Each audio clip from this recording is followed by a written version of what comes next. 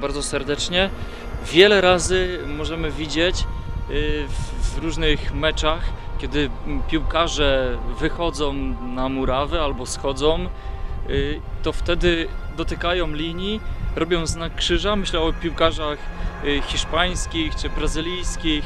Dotykają linii, robią znak krzyża i całują rękę. Ja nigdy nie wiedziałem, co to znaczy, dlaczego oni całują swoją rękę, aż ktoś, ktoś z, z, z Hiszpanów wytłumaczył mi to właśnie, że y, oni wtedy układają palce na znak krzyża i całują kciuk, ale ten kciuk jest złożony w formie krzyża i dlatego nie całują ręki, nie całują jakiegoś talizmanu, który mają, czy pierścionka, ale całują właśnie krzyż. Dlatego y, robią znak krzyża i w kształcie palców y, krzyż, który, który uczynili swoją ręką.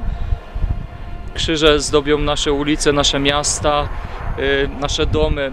Czyńmy ten krzyż z pobożnością i miłością, a może i nauczymy się od nich, będziemy całować tak jak oni.